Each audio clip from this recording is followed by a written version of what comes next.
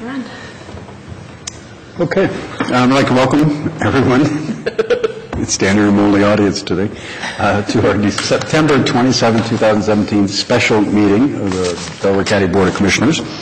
And um, we have one action item, that is to uh, adjourn into, not adjourn, but move into executive session. So I'll turn it over to to Sarah. Resolution number 17-1000, in the matter of adjourning into executive session for consideration of appointment, employment, compensation of a public employee or public official, and for collective bargaining. So moved. Second. Discussion, vote? Vote on motion 17-1000. Mr. Merrell? Mrs. Lewis? Aye. Mr. Benton? Aye. All right, we are in exe- executive session. All right, I'll grab my coffee of that.